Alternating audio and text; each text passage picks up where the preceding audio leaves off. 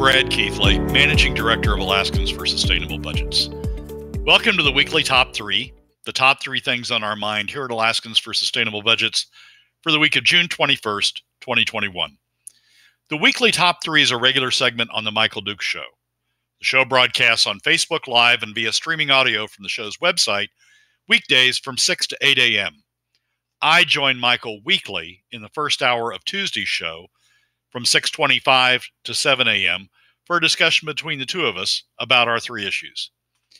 We post the podcast of our discussion following the show on the Alaska for Sustainable Budgets Facebook, YouTube, SoundCloud, and Spotify pages. Also on the Alaskans for Sustainable Budgets website, as well as the project's page on national blog site, medium.com. You can find past episodes of the weekly top three also at the same locations.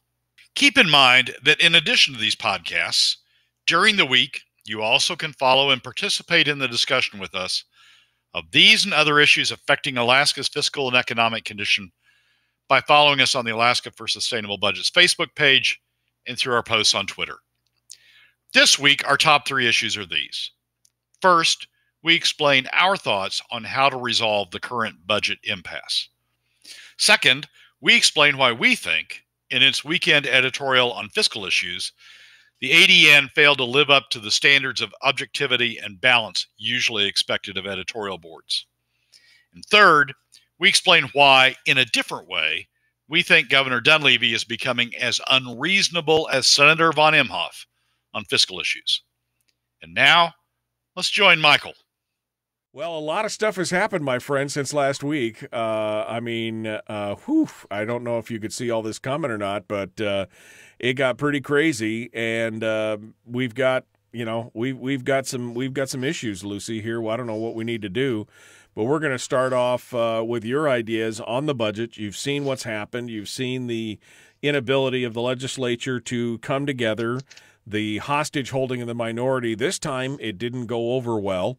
Last time they blinked and uh, and caved to the arm twisting by Bert Stedman and company. Uh, this this time around they didn't, and good good for them to show them that you can't negotiate with a terrorist. Uh, you've got number one on your list here as your proposal as to where you think we should go uh, on the budget. Let's uh, let's hit it. Well, let me start by saying that um, that I'm impressed by the minority in the House uh, uh, in voting against the effective date and using that as a tool to uh, to keep the conversation going. Um, the votes on the effective date are are usually uh, locked in. Uh, all the debate is done before that, and once you get down to the effect, you either win or lose on the issues in the budget. And once you get down to the effective date, um, and, and traditionally the CBR draw, um, uh, usually uh, uh, the debate's over and, and, enough people vote to, to go on. Uh, last on last week's show, you know, you and I talked a lot about the CBR draw and the need to vote against that to keep the issues uh, in the reverse sweep live going into the August session. I didn't anticipate the vote against the effective date, but I think it's a good demonstration of the of the hell no, we're not going to take it anymore uh, attitude that the minority has and was uh, an effective use of, of raising their issues. But now we've got the question of, of what we do eight days out from the end of the fiscal year, from the beginning of the next fiscal year. We've got the question of, um, of what we do.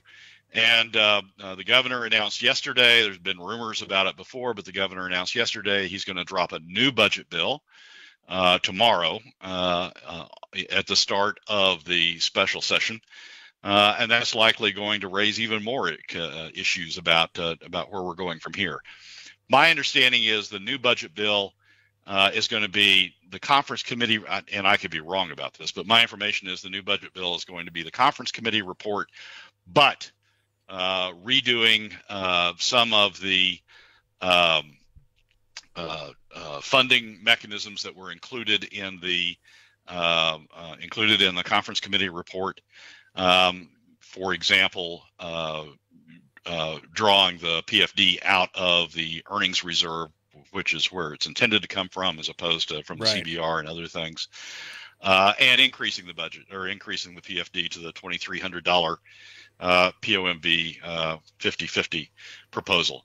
That's going to you know trigger the majority uh, who will oppose those things and uh, and will leave us with a with a state and I assume will be supported by the minority, at least a lot of the minority. Um, and it is going to trigger another sort of stalemate again uh, at that point, eight days out from the end of the fiscal year. My perspective is this we're not going to solve the whole budget issue uh, in this budget. The reason we're not is revenues aren't on the table. Uh, and to solve this budget issue permanently, firmly, fully, uh, revenues are going to have to be on the table. And we'll talk about that in the second segment. Uh, but this budget, this the, the FY22 budget can do a lot to uh, incentivize parties to come to the table in August, which is when we when we need to resolve the the, the, the budget issues permanently, can incentivize the various parties to come to the table uh, in August uh, uh, with an with a, an attitude of trying to get this resolved, not just not just talking the game of trying to get it resolved, but with an attitude of trying to get it resolved.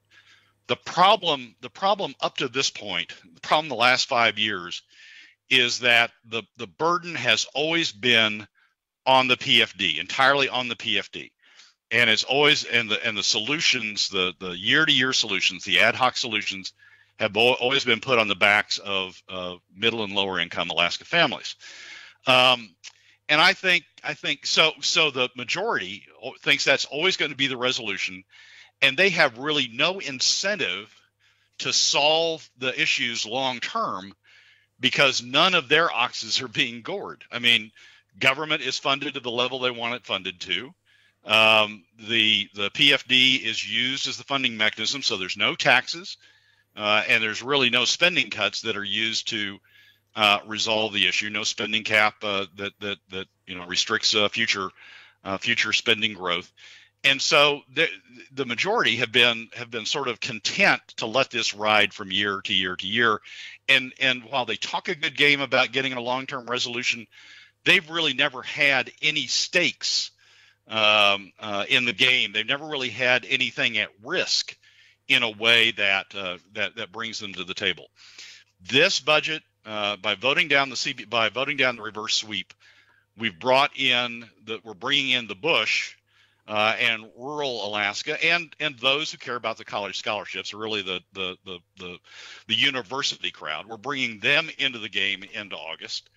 Uh, with with a stake in the game. They want to get those restored, so they're going to be interested in working on a long term fix to to to to you know re- restore the the uh, PCE and to restore the college uh, the college scholarship funds. But we've still got a segment out there uh, who uh, can sort of ride, can sort of, you know, still um, uh, ride along on PFD cuts who are more concerned. We got a segment out there who are more concerned about um, uh, saving the permanent fund, not overdrawing the permanent fund, saving the permanent fund for future use. And and we've got to bring them into the game also. And this budget, I think, what the minority did by voting down the the effective date and keeping this budget in the air, I think we have an opportunity to bring in that crowd um, as well. Everybody has got to have a stake in the game when we come to the session in August uh, to resolve this long term. So what what I I put out a piece yesterday that I that has a three three points that I think uh, are are a good settling point for this budget to get us set up for August. One is a continued vote against the reverse sweep. That's probably not in question. I think those who voted against the reverse sweep are going to continue to vote against the reverse sweep. Um, and so a continued vote against the reverse sweep to incentivize those interested in preserving the PCE and higher ed scholarship programs to come to the table in August. Their their programs are going to be at risk. They're going to want to find a full resolution, a final, a firm, permanent resolution in August. Um, some I think I think a good resolution out of where we are now is some PFD, some permanent fund overdraw to incentivize those interested uh, in uh, in in preserving the permanent fund, not using the earnings reserve, the per- permanent fund overdraws, uh, as a, as a way of um, uh, as a way of getting them to the table using some P, uh, permanent fund overdraw, and then uh, a higher PFD, but not. And this is not going to this is not going to set well with some listening, but not a full PFD because the, the the higher PFD out of this budget, but not a full PFD because there has to be an incentive for those who want to restore the PFD to get come to the table in August uh, and resolve uh, this issue as well. If we swing from um, uh, full PFD cuts or big PFD cuts, which we've done the last five years, to all of a sudden a full PFD, then those who believe strongly in the full PFD are going to have the upper hand, and they're not going to, and and they're going to be uh, difficult uh, uh, in the negotiations in August. So. I think giving sort of everybody, taking a little bit away, taking some away from everybody, the reverse sweep, taking that away so that PCE and higher and the higher ed scholarships are on the table, taking some out of the out of the permanent fund earnings to increase the PFD, so that those who are concerned about uh, uh, about overdraws, they're interested in coming to the table in August to getting this resolved, and having a higher but not yet a full PFD.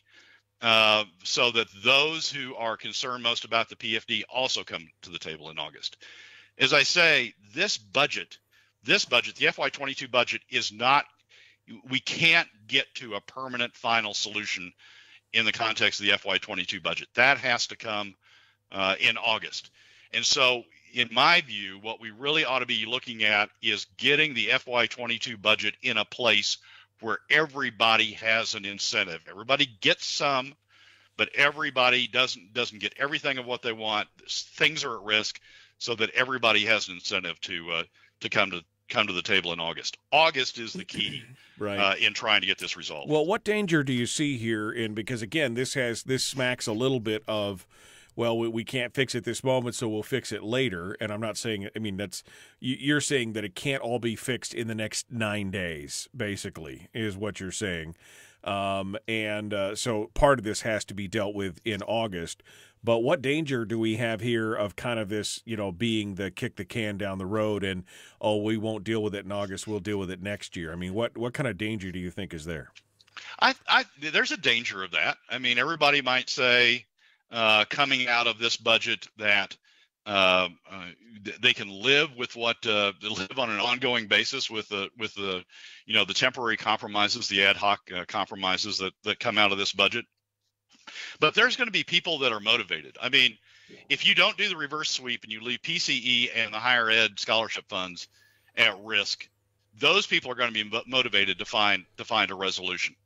If you start invading the earnings reserve, if you start doing overdraws of the earnings reserve, some, but set the precedent that that will continue if if we don't get this resolved.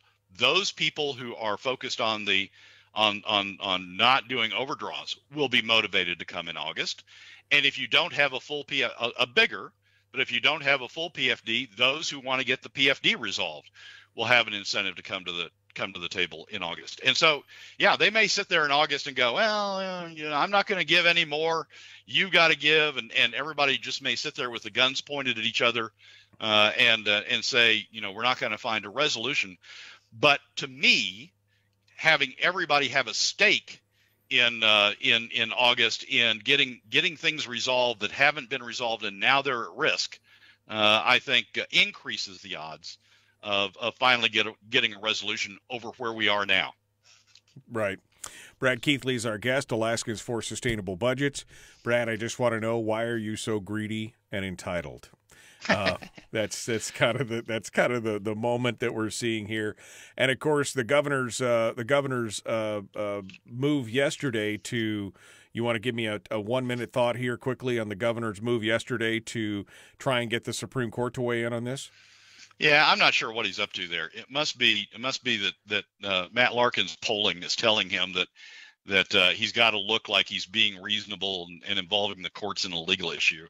Uh, otherwise, I don't know what he's doing. I wouldn't do it from a legal standpoint. If I were if I were his legal advisor, I would stand on my reading on the governor's reading of the of the Constitution, and let somebody sue me if they wanted to. Uh, but it's got to be it's got to be some political judgment that they're making that uh, that they need to seem to be reasonable somehow. Well, and there's a danger here because we've seen what the courts have done in the past uh, with that kind of stuff. Specifically, I'm thinking about the Wielechowski bill, uh, Wielechowski case. Uh, you know, in regards to the PFD, this is not necessarily an electorate that is favorable to a smaller, more limited government, uh, and so I, I, get a little concerned when the governor goes to ask the uh, courts if he can uh, bust the Constitution because I, I yeah. agree with you. It's pretty clearly written there. Yeah, it's uh, it, I, it, I, there, there's not a legal reason to be doing it. There's got to be a there's got to be a political reason uh, that's motivating them, and you know this is a very poll-driven administration. So, you know, it could be if the polls are telling them that they need to they need to do this to seem reasonable somehow. So, Brad, why are you so greedy and uh, and and entitled? Uh, your thoughts on uh, on on the rampage on the floor last week by uh, Senator von Imhof. Yesterday, we kind of dissected it a bit. We went, in fact, through her whole floor speech, which was quite honestly slightly bizarre. I mean, so full of falsehoods and. Um, and fear mongering. Don't drive across a bridge, Brad, because it may fall down because the government's shut down. I mean, it's just there's some crazy stuff in there. Uh, your thoughts on the on the whole tirade? Well, she's running for governor, um, and so you know she thought that was the right pitch to make uh, in her run for governor. She's gonna she's gonna you know claim that Dunleavy is is a, a, failed administration, is a failed governor, is not looking out for Alaskans, and she, Senator von Imhof, is is here to save the day. Uh, and and you know it starts with not being greedy that everybody has to you know everybody just has to accept that it's going to be a lower PFD and and and that's all we can afford and we go on from there. And so I would I would guess that in her mind that whole uh, uh, tirade was was done for sound bites that goes into uh, uh goes into her uh, her campaign for uh, for governor. Um, I, boy, if I was her advisor, I wouldn't have advised her to do that. Yeah, yeah. Uh, because there's there's sound bites that are going to come out of that that are going to come back to haunt her. Not the least of which was the hair flip. It, uh, it, uh, it isn't part of it isn't part of her speech, but but prior to her speech on gavel to gavel, there's a there's a little you know clip in there or a little piece in there when they were at ease where she's you know flipping her hair in front of and laughing in front of uh, Senator Stevens. This is this is you know in the lead up. This is before all of a sudden you know she's concerned about her father who's home, and and and I and I'm very sorry for this, but her father who's home dying of of cancer. I mean, she was just all smiles and giggles and you know flipping her hair like a like like you know a teeny the, bopper, the, the blonde yeah. who went to Harvard. Right. Um, right. Legally blonde. That's it. And uh, and so it, I, there, it it was it was staged uh, and it was staged for her campaign and it was staged to appeal to a, a certain segment. But that segment, Michael, is the top 20%. What these people don't get, and we'll get into this in the second segment with the ADN, but what these people don't get is yes, all their friends are telling them how great they are. And yes, all their friends are telling them, you know, how wonderful they are for, you know, standing up for this stuff and for, you know, talking about, you know, blood in the streets if we don't pass this pass this budget. But all they're they're they're they're, they're it's an echo chamber among the top 20%. They don't I don't think they appreciate, you know, how this is going to play in the full campaign for people who have been, you know, had their PFD cuts for what would then be seven years. Right. So it's uh well. I, you talk about it, sound bites. All I could think of is if I'm running against her, all I'm doing is sound biting that top, that first top of the uh, top of the rant where she goes, you know, you greedy and entitled people, and I, then I would pair, then I would you know overlay it with all we were asking for was for you to follow the law. I mean, that's exactly it. I mean, just over you greedy and entitled people. Oh, you mean the people that wanted the full PFD were greedy and entitled? You know, with your 1.4 million dollar mansion on uh, out on the lake and and all that. I mean, it it. I think she didn't do herself any favors on this. Oh, I don't think she did either. I don't. But but I would bet that she thinks she did. Yeah, uh, I would bet she thinks that she's laid down the campaign themes uh, that uh, that she's going to follow in the campaign. She laid them down firmly, and you know, and and you, you go to Twitter you go to you know various uh, uh, various uh, uh, commentaries, and there are people who you know think she hit a home run with that with that speech, but they're just they're they're existing in their own little echo chamber. Um, and I don't know if they're not doing polling or that because they don't have Matt Larkin, they're not doing the right kind of polling.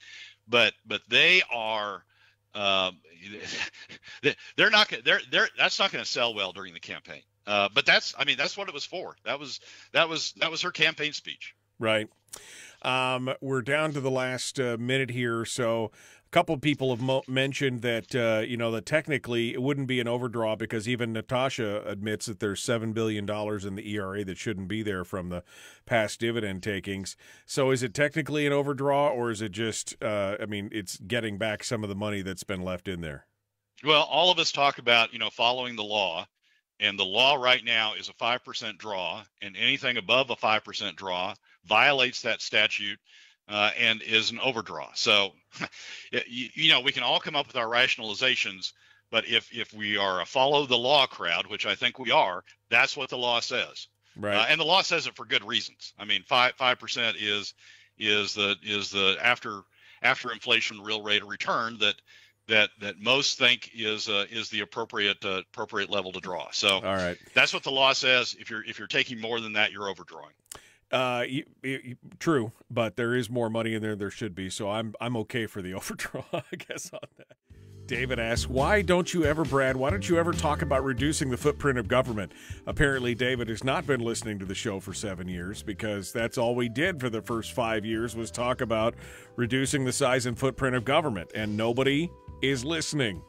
It, it doesn't it just doesn't matter at this point. It's, it's what, what, did you do for me yesterday? What did you What did you say to me yesterday? Uh, I, will t- we're not going to talk about this reducing the size and scope of government until the top twenty cent ha- top twenty percent has to pay for part of it, right. and then all of a sudden, when they have to pay for a part of government, we're going to hear a lot of people talking about reducing the size and scope of government. Right.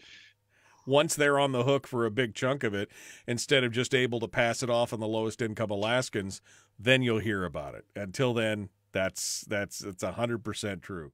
We're continuing now with Brad Keithley, Alaskans for Sustainable Budgets.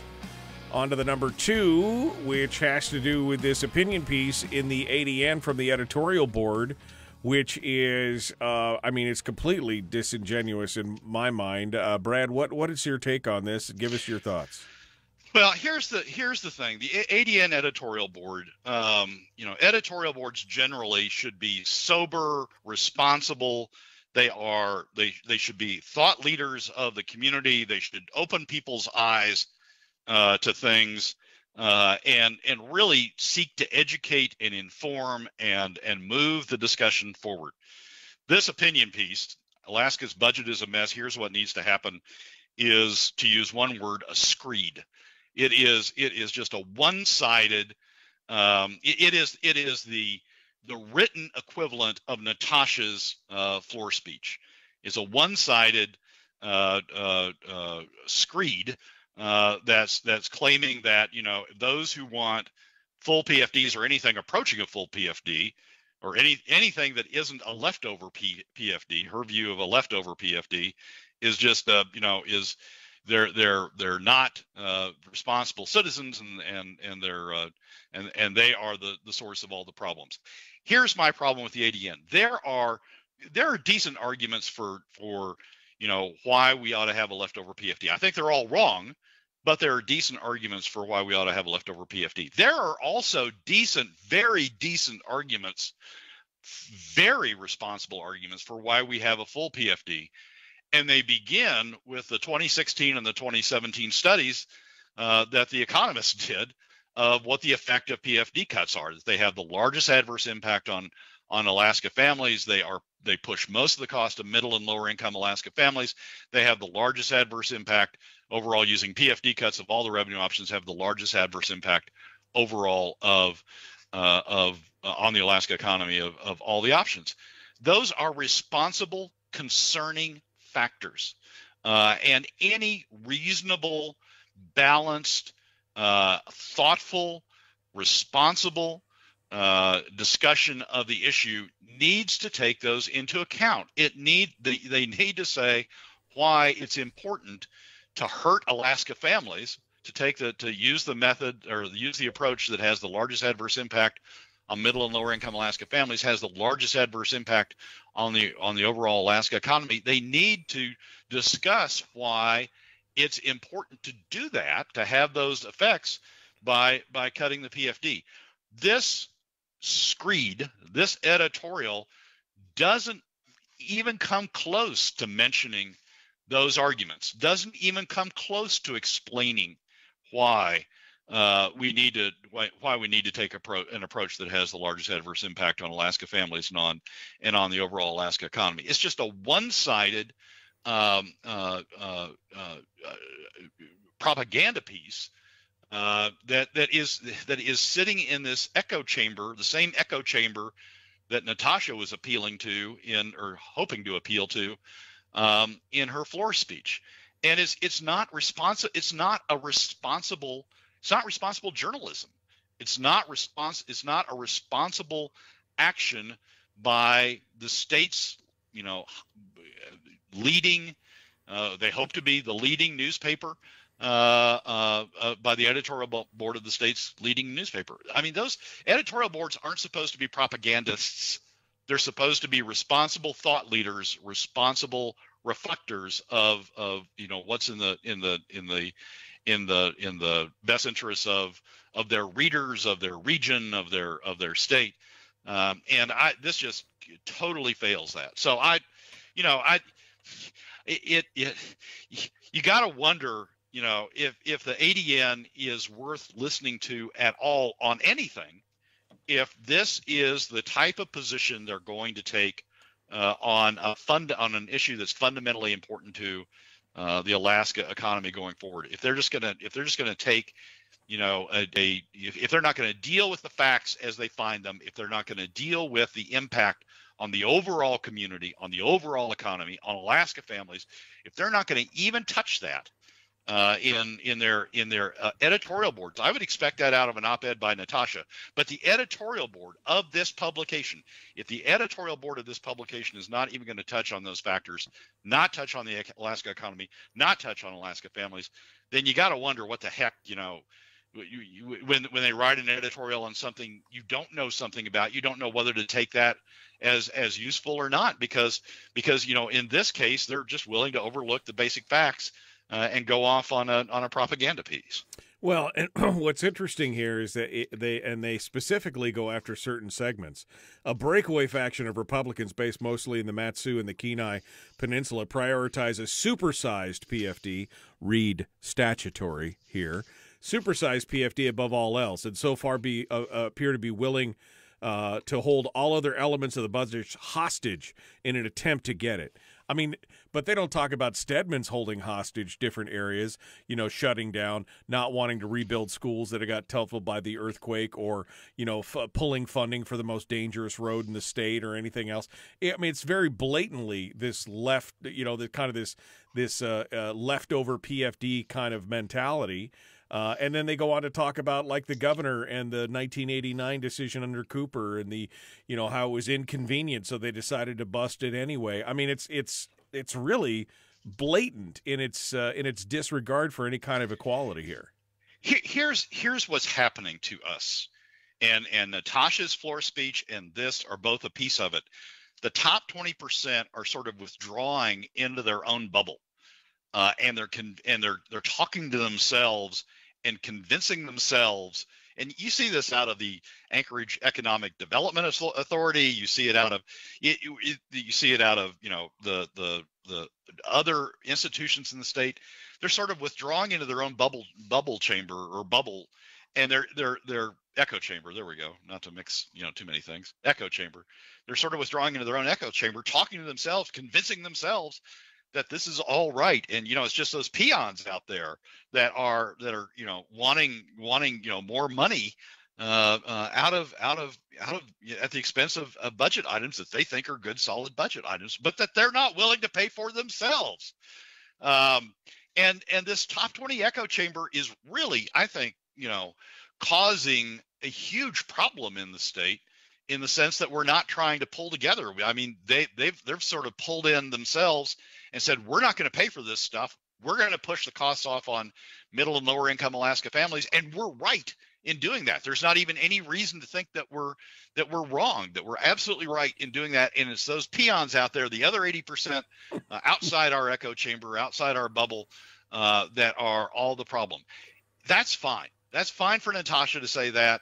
That's fine for you know politicians who are appealing to their base to say that. It is not fine for the state's largest newspaper for the editorial board that's supposed to be responsible and thoughtful and and and take take everything into account. It is not fine for an editorial board uh, to be going off in that direction, and I think I think that is the fact they did.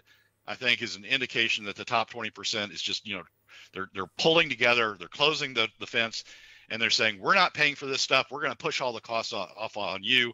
We're right in doing that. You're wrong uh, and, uh, and and and you know sort of this elitist attitude of, of we're not going to listen to it anymore. We're just going to tell you we're going to tell you you're wrong, and we're going to tell you repeatedly that you're wrong. Right. And I, that's that's just that's just a horrible thing for the editorial board to do. Absolutely. you know, you greedy, greedy, entitled people. That's kind of what it all comes down to. Um, uh, the top 20% echo chamber sees the rest of Alaskans as barbarians at the gate. I wouldn't disagree with that. I mean, that, that that's kind of how they see us. Again, we're greedy and entitled. That's I mean that is the that is the snapshot. I keep going back to that. But that is the snapshot of the mindset of these folks. That somehow, because we are demanding that they follow the law, that they follow the intent of the framers of the permanent fund and the permanent fund dividend, that we follow that intent, we are greedy uh, because we want to take away their playthings. We want to take away their access to easy money.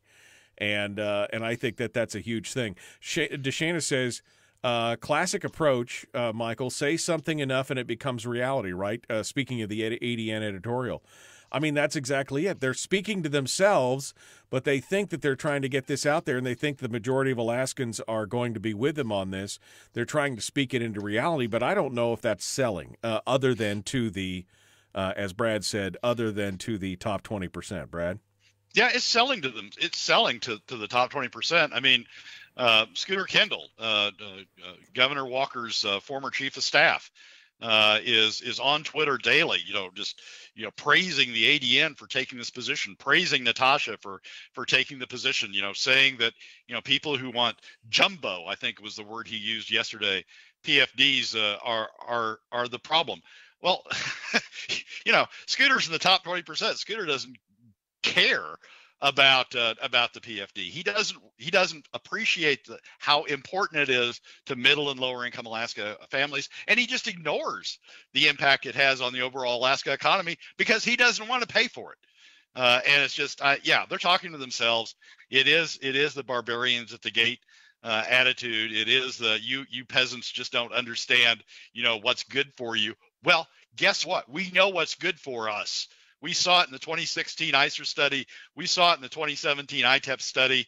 Uh, you know, we, there are studies out there that tell us what good, what's good for us. Right. Don't don't don't don't try to sell us something that uh, that that that is just refuted by the facts. Well, we saw it in the 1999 advisory vote.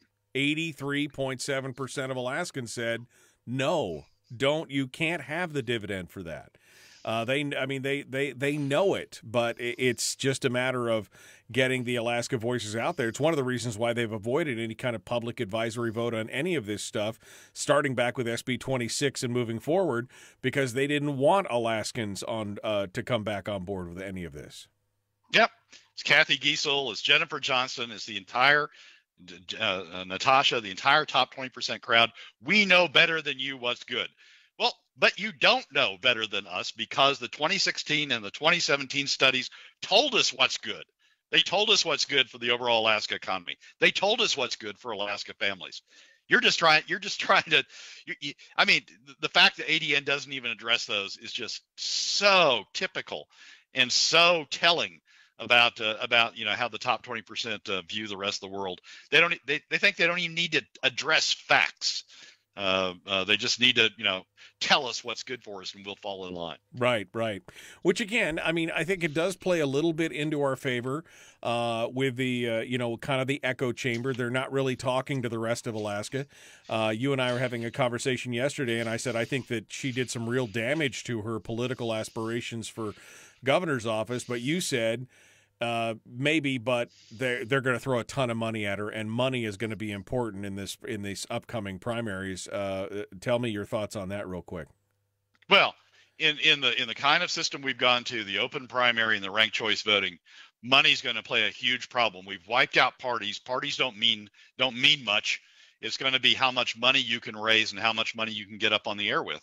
And there and the tw- top 20% and the oil industry and others who don't want to pay for a portion of Alaska government uh, are going to be up with a lot of money to support Natasha. So, I mean, that's that's what we're going to face, uh, and and we're going to have to just keep, you know, focusing on the facts and keep pushing back.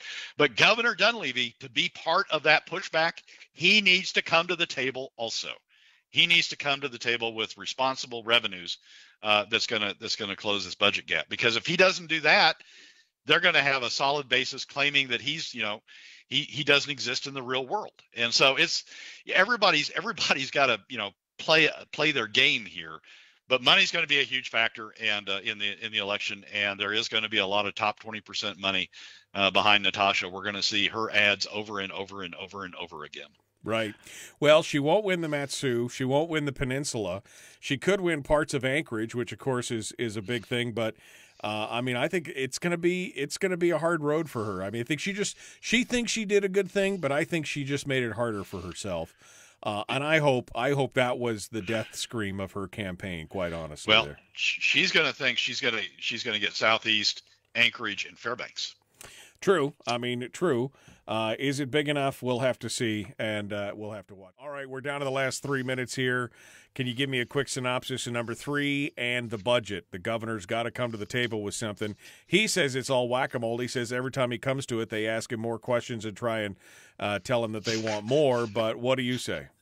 Well, they're asking him. They're asking him the same question, Governor. What's your idea on how to on on the revenues? Even your even your budget admits there's a need need for revenues your senators, Senator Shower, Senator Hughes, Senator Wilson, tell you there's a need for revenues. Governor, you're the governor.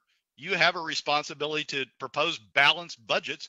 What's your proposal for revenues? It's not whack a mole. They're just asking the same question over and over and over, and he's not answering it. And and and that's just that's you know as much as I think the the ADN editorial board is irresponsible, I think that's irresponsible to get this thing solved, we're going to have to have revenues. To get this thing to get this same thing solved in, in August, the governor's got to be part of the conversation. The governor's got to lead. That's what he's elected to do. I know Matt Larkin's telling him, "Oh, don't go out there and talk about revenues. Let the legislature start the talk about revenues, and then you can, you know, complain about them and, and veto them." And but I know that's what Matt Larkin's telling him. But it's not the responsible way to govern. A governor has to govern, has to propose balanced a balanced budget.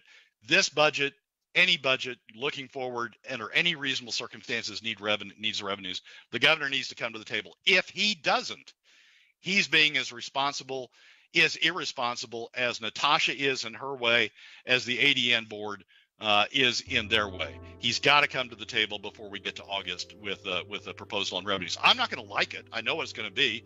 I'm not going to like it, but at least it will be something. It will be better than PFD cuts which is the default we keep going back to every time we don't have right. we don't have this right. revenue discussion. Right. Well, and with the new budget, do you think he's that he's supposed to put out? Do you think that there will be revenues or not? Oh, quick. Oh heck no. Heck not, no. Not no. not in this budget. He's gonna he's gonna stick to it. But between now and August, now in the August session, he has to come out with revenues or else yep. he's being as irresponsible as Natasha. Brad, thanks so much for coming on board. I appreciate you being part of it today, as always, my friend. Michael, as always, thanks for having me. All right, my friends. Uh, Brad Keithley, uh, Alaska's for Sustainable Budget. Well, that's a wrap for another week's edition of the weekly top three from Alaskans for Sustainable Budgets. Thank you again for joining us. Remember that you can find past episodes on our YouTube, SoundCloud, and Spotify pages, and keep track of us during the week on Facebook and Twitter. This has been Brad Keithley, Managing Director of Alaskans for Sustainable Budgets We look forward to you joining us again next week on the weekly top three.